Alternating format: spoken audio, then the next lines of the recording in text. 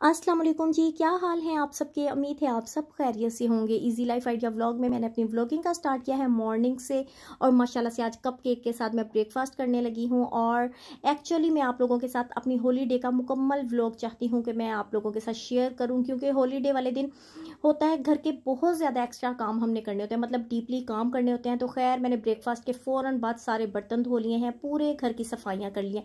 क्योंकि ये काम तो मस्ट है कि हमने अपने काम, घर का रेगुलर काम ये वाले दो काम जो है ना, ये रेगुलर करने हैं, अपना बेडरूम साफ़ करना है, अपने घर की सफाइयाँ करनी है। तो माशाल्लाह से मैंने ये वाले काम कर लिए हैं। इसके बाद अब मैंने आलू आज आए हुए थे। तो आलुओं को मैंने फ्रिज में रखना था और आलुओं के ऊपर इतनी ज़्यादा मट्टी लगी हुई थी तो मैंने सोचा इन आलुओं को पहले साफ़ कर दूँ, क्योंकि अगर मैं इन आलुओं को फ्रिज से बाहर रखूँ तो इन आलुओं पर अजीब से सिलवटें सी पड़ जाती हैं, जैसे अजीब से नरम नरम हो जाते हैं तो वो मुझे अच्छे नहीं लगते हैं। इसीलिए मैंने आलुओं को खूब अच्छे से धोऊँगी, फिर इन्हें खुश करूँगी, फिर उसके बाद फ्रिज में रखूँगी।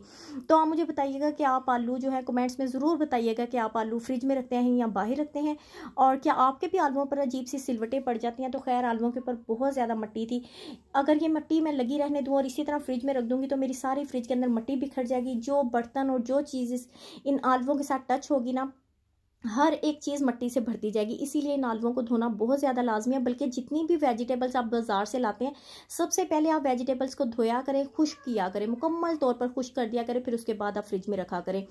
तो ये आलू माशाल्लाह से मैंने सूखने के लिए रख दिए हैं। अब जैसे जैसे ये सूखेंगे तो फिर मैं इन्हें फ्रिज में रख दूँगी। इसके बाद आज मैंने छुट्टी वाले दिन का व्लॉग बना रही हूँ, इसीलिए ना ये जो मेडिसन है, जितनी ज़्यादा इधर हमारे घर में पड़ी थी, सारी मेडिसन को मैंने इकट्ठा किया है।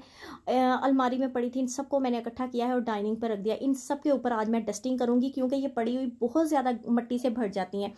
तो इनको मैंने साथ साथ इनके ऊपर कपड़ा खूब अच्छे से फेरना है ताकि इनके ऊपर मट्टी वगैरह उतर जाए। इसके अलावा इनकी एक्सपायरी डेट तो मैंने लाजमी चेक करनी है। जो डेट एक्सपायर हो चुकी है, उन सारी मेडिसिन को मैं फारिग कर दूँगी, एक साइड पर रख दूँगी और बास्केट में फेंक दूँगी। इसके अलावा जो मेडिसिन यूज़ वाली हैं, उन्हें मैं अपने पास बस रखूँगी। एक्चुअली होता क्या कि अगर हम इस चीज़ पर नोटिस ना करें, मेडिसिन को हम कंट्रोल ना करें तो इतनी ज़्यादा मेडिसिन जगह घेर लेती हैं कि पूरी एक अलमारी इन मेडिसिन से भर जाती है। एक्सपायर और दूसरी जो यूज़ वाली है, कुछ समझ नहीं लगती। और सबसे बड़ी बात ये मेडिसन जो है सिरप है और ये बच्चों वाली मेडिसन है। मतलब छोटे छोटे बच्चों ने क्या चेक करना है कि इनके अंदर एक्स, एक्सपायर है या नहीं है? बच्चे बेचारे वैसे ही पी लें तो अल्लाह रहम करिए बहुत खतरनाक मसला होता है। इसीलिए आप भी जब भी मेडिसन एक्सपायर हो फ़ौरन से उसे फेंक दें।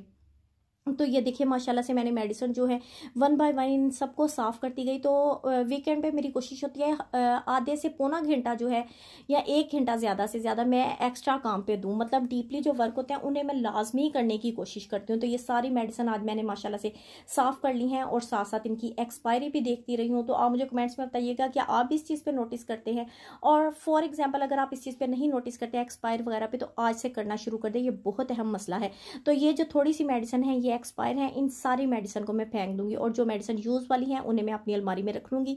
इससे मेरे किचन में किचन की अलमारी में एक्चुअली मैंने रखी है, इससे मेरे किचन की अलमारी में बहुत ज़्यादा स्पेस बच जाएगी मज़ीद काम करने के लिए। इसके अलावा मैंने आज किचन के कामों में ये भी काम बहुत अहम था।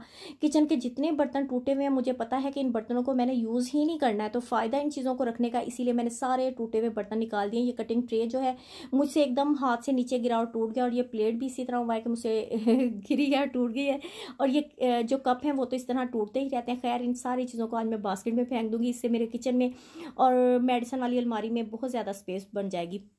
इसके बाद मैंने आज आप लोगों के साथ रेमेडी जो है वो भी लाजमी शेयर करनी है। मतलब ये कि एक्स्ट्रा काम मैंने करने हैं और अपनी तरफ़ भी लाजमी केयर करनी है। क्योंकि हफ़्ते के कम अज़ कम सात दिन के बाद एक दिन तो हमें ऐसा निकालना चाहिए। हफ़्ते के बाद एक दिन जो होता है, उसमें हमें अपनी स्किन की भी केयर करनी चाहिए। अपने ऊपर भी मुकम्मल तवज्जा देनी चाहिए। चले एक हफ़्ता, हफ़्ते में एक दिन हम अपने चेहरे पर तवज्जा देंगे ना तो पूरे जो सात दिन बकाया छः दिन जो बचते हैं, उनमें हमारा चेहरा तो निखरा निखरा रहेगा ना। अपने आप को तो इग्नोर करना ही नहीं चाहिए। क्योंकि जहाँ हम घर के इतने काम करते हैं, इसीलिए अपनी तरफ़ भी खास तवज्जा देनी चाहिए। तो मैंने आज ये वाली रेमेडी आपके साथ शेयर करने लगी बहुत ही अच्छा इसका रिज़ल्ट था। आप भी ये लाजमी यूज़ कीजिएगा। मैंने ले लिया है टमाटर इसे हाफ़ कट कर लिया। इसके बाद मैंने चीनी ले ली है और चीनी जो है मैंने दानेदार चीनी यूज़ करनी है।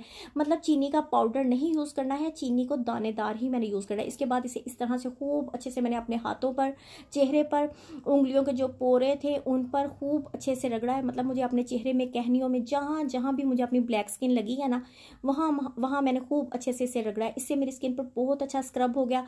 जितना मैल कुचैल था वो भी उतर गया और स्किन जितनी काली थी वो भी सारी स्किन वाइट हो गई। ये रेमेडी बहुत ज़्यादा अच्छी है, मैं आपके सामने यूज़ कर रही हूँ। और इसका आपको रिज़ल्ट भी दिखाऊँगी कि कितना ज़्यादा इस पर मेरी स्किन पर कितना इससे फ़र्क पड़ा है, कितनी अच्छी स्किन हो गई है। और ये देखिए जी, ये यहाँ से काली लग रही है, इस तरह से मैं इसे पाँच से दस मिनट मैंने इसे यूज़ करना है। और आप भी यूज़ कीजिएगा, मुझे कमेंट्स में बताइएगा यूज़ करने के बाद कि आपको इसका रिज़ल्ट कैसा लगा। तो मैं कोशिश करती हूँ कि हफ़्ते के एक दिन तो कम अज़ कम ऐसा दिन निकालूं कि अपने ऊपर केयर करूँ, क्योंकि वरना आम रूटीन में ऐसा होता है, बच्चे माशाल्लाह से स्कूल जा रहे होते हैं, बच्चों को पढ़ाना होता है, बच्चों की डायरी देखनी होती है, बच्चों के काम को कंप्लीट करना होता है, बच्चों के यूनिफॉर्म को रेडी करना होता है। तो घर के भी मैं डीपली काम कर रही होती हूँ और अपनी स्किन की भी डीपली केयर कर रही होती हूँ। तो माशाल्लाह से ये सारे घर के काम काज जो हैं और ये अपनी स्किन की केयर ये सब कुछ मेरे वीकेंड में लाजमी आ जाता है। अब मैं आपको अपने हाथ जल्दी से वॉश करके इनका रिज़ल्ट दिखाती हूँ और ये देखिए, माशाल्लाह से कितनी शाइन मेरे हाथों पर आ गई है। मैंने कोई इस पर एक्स्ट्रा लाइट नहीं डाली हूँ, कोई ऐसी चीज़ यूज़ नहीं कर हूँ। बहुत ज़्यादा, माशाल्लाह से मेरे हाथों पर शाइन आ रही है। अब इसके बाद मैंने अपने चेहरे पर भी लगाना है। तकरीबन पाँच से दस मिनट में अपने चेहरे का भी खूब अच्छे से मसाज करूँगी। रेमेडी जो है, अपने चेहरे की केयर वगैरह मैंने कर ली है। इसके बाद मैंने अपने कपड़ों को भी वॉश कर कपड़ों को सॉरी कपड़ों को प्रेस कर रही हूँ। क्योंकि इसके बाद मैंने अपना हाथ धो लेना है घर के, यानी ये जितने डस्ट वगैरह वाले काम थे, सारे काम क्लियर हो चुके हैं। मैंने नीट कपड़े जो हैं वो पहने और मेरी कोशिश होती है वीकेंड पे मैं नए से नया सूट या अच्छे से अच्छा सूट पहनूँ, जो जो पहन कर ना मैं काफ़ी ज़्यादा अपने आप को अच्छा फील करूँ कि आज मेरी ड्रेसिंग बहुत ज़्यादा ज़बरदस्त है। तो खैर, मैंने अपने कपड़ों को प्रेस कर रही हूँ। इसके बाद मैं नहा धोकर अच्छी बच्ची बन जाऊँगी, लेकिन अभी भी मेरे मजीद किचन के जो काम है, खाना वगैरह भी बनाना लाजमी है, क्योंकि इतनी गर्मी थी और पसीने से मैं भरी हुई थी, मट्टी वाले मैंने काम किया तो खाना भी नहीं बनाया था। और खाने की जो रेसिपी है बेसिकली मैं आपके साथ अब वो ये वाली आज शेयर करने लगी हूँ, खाने की रेसिपी ये देखिए जी लास्ट टाइम मैंने आपके साथ जो दिया है छः मिनट का आपके साथ ब्लॉग शेयर किया था उसमें मैंने आ, इसको तिक्के मसाले को मसाला बस लगाया था लेकिन बनाया नहीं था तो मैंने फिर इसमें ऑयल डालकर ये सारा तिक्का मसाला जो है यानी चिकन जो मैंने फ्रीज़ कर दिया था उसे मैंने आज चिकन को रेडी किया थोड़ा सा इसमें पानी डाल दिया और इसको खूब अच्छे से भून दिया यानी इतना भुना कि हमारा चिकन जो था वो गल गया। तकरीबन आधे से पौना कप मैंने इसमें पानी का डाला था और दो तीन चम्मच मैंने ऑयल के डाले थे तो ये चिकन खूब अच्छे से गल गया और इसको मैं पकाने के बाद इसे बाउल में निकाल दूँगी और मैंने चिकन चिकन पराठा रोल जो है उसकी रेसिपी आपके साथ शेयर करनी थी। मैं डिस्क्रिप्शन में इसका जो लिंक है, वो डाल दूँगी कि मैंने मसाला वगैरह किस तरह लगाया था। वो वाला व्लॉग जो मेरा आधा रह गया था, उसका भी मैं डाल दूँगी डिस्क्रिप्शन में। तो खैर, ये मसाला जो है खूब अच्छे से पक चुका है। अब मैं इसे बाउल में निकाल लेती हूँ। ये देखिए जी, मैंने इसे बाउल में निकाल दिया है। अब इसके बाद मज़ीद हमने पराठे बनाने हैं। पराठे मैंने सिंपली जो रोल वाले होते हैं, पराठे वैसे बना लिए, कुछ सिंपल बना लिए। जैसे आपको पराठे इजी लगते हैं, वो बना लीजिएगा। पराठे तो मैं अक्सर अपने ब्लॉग में आप लोगों के साथ शेयर करती रहती हूँ। अब मैंने जो सॉस रेडी करनी है, वो ले लिया है दही और मैंने इसमें half teaspoon just half teaspoon मैंने इसमें नमक डाला है और हाफ़ टी स्पून से दो तीन चुटकियाँ तकरीबन मैंने डाल दी हैं ज़ीरे की और दो तीन चुटकियाँ मैंने डाल दी हैं नमक की। और साथ में मैंने इसमें काली मिर्च जो है, वो भी एक दो चुटकियाँ डाल दी हैं। इन चारों चीज़ों को हम इसमें डाल देंगे। बेसिकली मैं इसमें वाइट सॉस जो होती है, वो बना रही हूँ, लेकिन इसका फ्लेवर बहुत ज़्यादा अच्छा आया था। मिर्चें थोड़ी सी तेज़ हो गई थी सॉस में। तो आप कोशिश कीजिएगा कि आप ये वाली जो सॉस है ना, इसमें मिर्चें कम रखिएगा। अब मैंने दो से तीन टेबल स्पून इसमें भर करना मोयनीज़ के डाल देने हैं और खूब अच्छे से हमने इन सारी चीज़ों को बीट कर देना है। यानी कि इतना अच्छा बीट करना है कि सारी चीज़ें यकजान हो जाए, दही के अंदर से मुकम्मल गुठलियाँ ख़त्म हो जाएँ।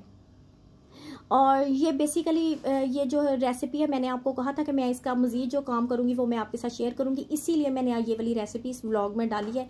और संडे का जो मेरा व्लॉग अनकम्प्लीट था, वो भी मैंने सोचा कि इस व्लॉग में ही आपके साथ शेयर कर दूँ। तो पराठा जो था, उस पर मैंने सबसे पहले तो ये वाली सॉस लगा दी है। और इसे किसी भी चम्मच के साथ या जिस चीज़ के साथ आपको ईजी लगता, आप इस तरह से फैला दीजिएगा। इसको ये जो मैंने दही वाली सॉस बनाई है, बहुत मज़ेदार ये सॉस बनी थी। इसमें से खुशबू बहुत ज़्यादा अच्छी आ रही थी। ये देखिए जी, पूरे पराठे पर मैंने फैला दी है। नीचे मैंने बटर पेपर भी लाजमी रखा है, रखा हुआ है। और इसके ऊपर अब मैंने ये जो चिकन मैंने आपको टिक्का मसाला बताया था, वो वाला मैंने चिकन टिक्का मसाला सेंटर में रख दिया है। और इसके साथ ही मैं इसमें प्याज डाल दूँगी। प्याजों को भी मैंने बारीक बारीक सा काट दिया है। ये देखिए जी, इस तरह से मैंने प्याज़ों को भी सेंटर में इसके साथ ही रख दिया। अब मैं इसे जल्दी से ना बटर पेपर के अंदर कवर कर दूँगी। और ये बहुत ही ज़बरदस्त सा ना मेरा पराठा रोल जो है रेडी हो गया। और आप भी लाजमी बनाइएगा और मुझे बताइएगा कि आपको ये पराठा रोल कैसा लगा, इसकी रेसिपी कैसी लगी। इसका जो स्टार्टिंग रेसिपी है वो मैं डिस्क्रिप्शन में डाल दूँगी ताकि आप लोगों के लिए ईजी हो जाए। तो इसके साथ ही मैं आपसे इजाज़त चाहती हूँ। आई होप आज का आपको मेरा ब्लॉग अच्छा लगा होगा। अपना बहुत सारा ख्याल रखिएगा। जहाँ रहें, खुश रहें। मेरे चैनल को लाइक शेयर और सब्सक्राइब ज़रूर कीजिएगा। अपनी दुआओं में मुझे याद रखिएगा, जहाँ रहें, खुश रहें।